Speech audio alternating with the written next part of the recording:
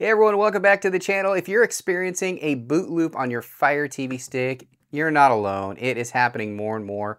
And it's not just exclusive to Fire TV sticks. It also happens on Android boxes and computers, phones, tablets. It happens on all electronic devices. So really quickly in today's video, I'll share with you why that happens, and we're gonna share with you how to fix it. It's actually a lot easier than you might think. Let's go.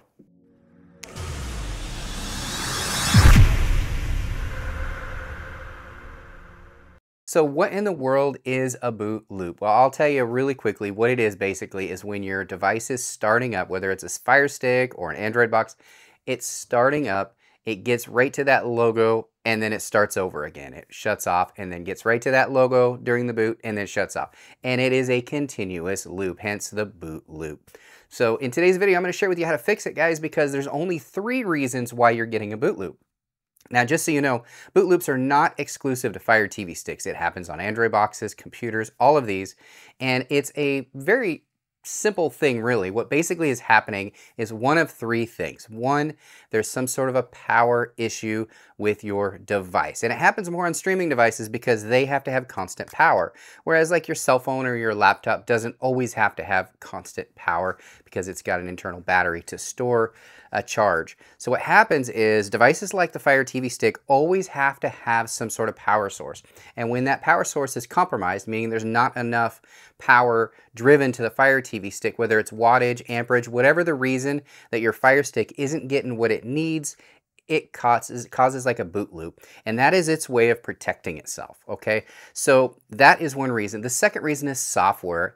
And that could be anything from installing a third-party apps that are incompatible with it or maybe you have too many apps and your hard drive is full and it creates a boot loop. Software is the number two reason. The third reason is hardware. Now that is something that we'll have to get really into guys and I'll probably refer you to replacing your Fire Stick if hardware is the issue because taking these things apart, replacing components is just not feasible because right now these things are on sale. You can get the newest Fire Stick for like 32 bucks right now on Amazon uh, in the US. So um, it's almost worth replacing at that point. But we're going to really focus today on the power reason and the software reason. And we're gonna fix it, guys. Power is about 75%, software is about 15%, and then hardware is about 10. So 85% chance this video is gonna help you out today. So let's get right into the power. What is going on with your Fire TV stick. So we're specifically going to talk about Fire TV sticks, this will apply to any electronic device. What happens again? Power. So what I need you to do is I need you to make sure that you unplug your Fire TV stick from power. So just unplug it directly from your stick, the little power outlet, and then I want you to unplug it from your TV. I want you to wait 60 seconds, guys. Just wait 60 seconds. While you're waiting that 60 seconds for your Fire Stick to completely shut off and actually reset itself, it's giving it a chance to completely shut down. That's what that 60 seconds is.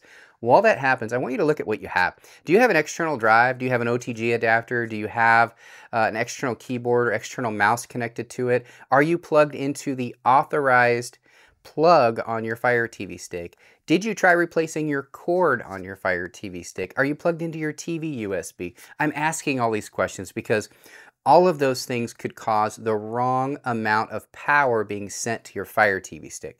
And guys, 75% chance that that's what it is. So if you unplug everything, wait 60 seconds, and just plug the authorized Amazon plug. Don't use like a power strip, because if you have a bunch of stuff plugged into a power strip, each of them is taking a little bit of amperage away, and your Fire Stick's not getting enough. And that's why they have those blocks. They're meant to be used, guys, because it'll make sure you have the proper um, amperage. So that's what you need.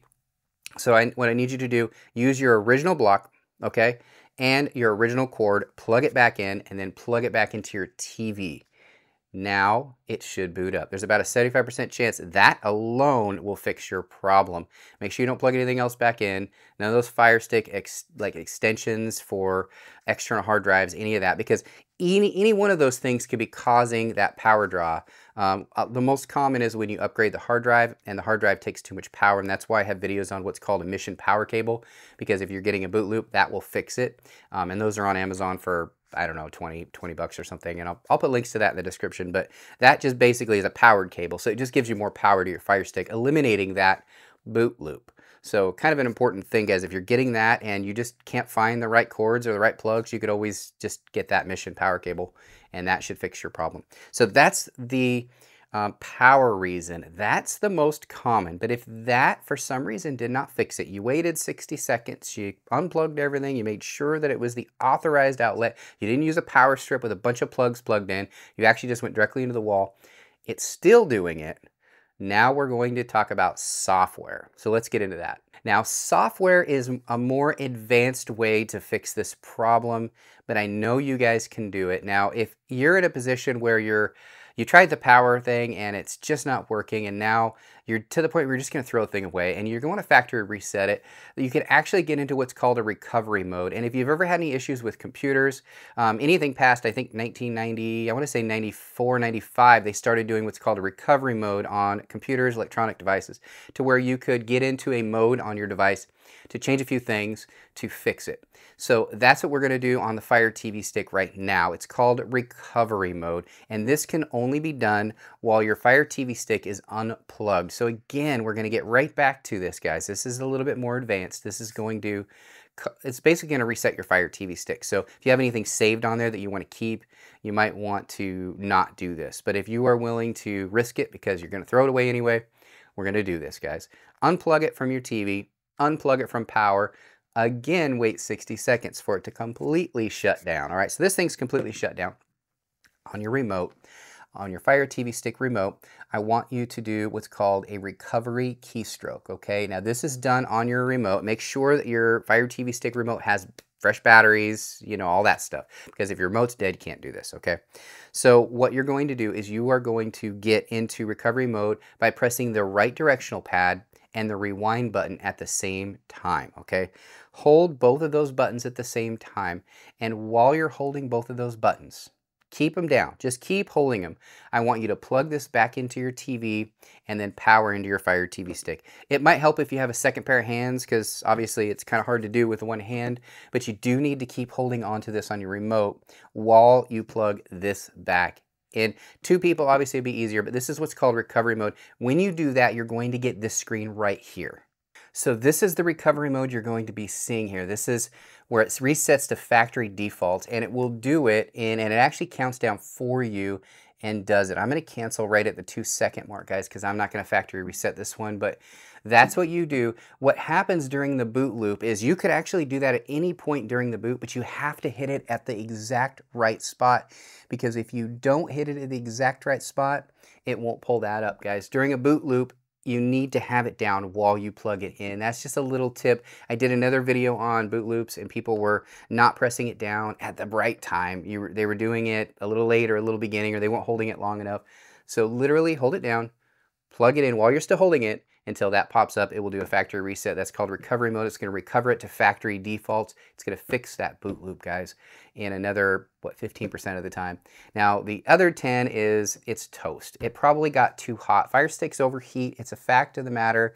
If you don't use those little extensions, I don't have any right here in front of me, but it comes with a little extension that keeps it away from your TV. Some TVs emit a lot of heat, and if it melts components inside of your Fire TV stick, you're going to have problems, guys.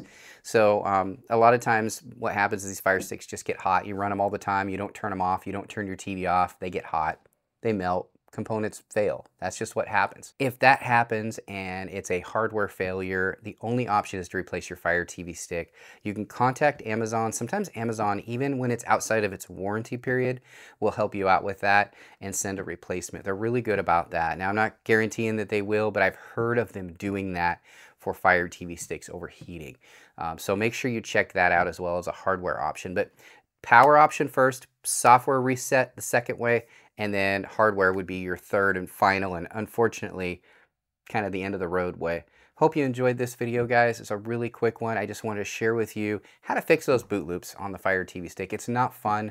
Nobody likes it, but at least I can share with you how to fix it. Hope you enjoyed the video. If you like videos like this, make sure you hit that thumbs up, like, and subscribe this video. I really appreciate it. it helps this channel by doing that, and I can bring more videos just like this to you. Thanks again, everybody. Bye.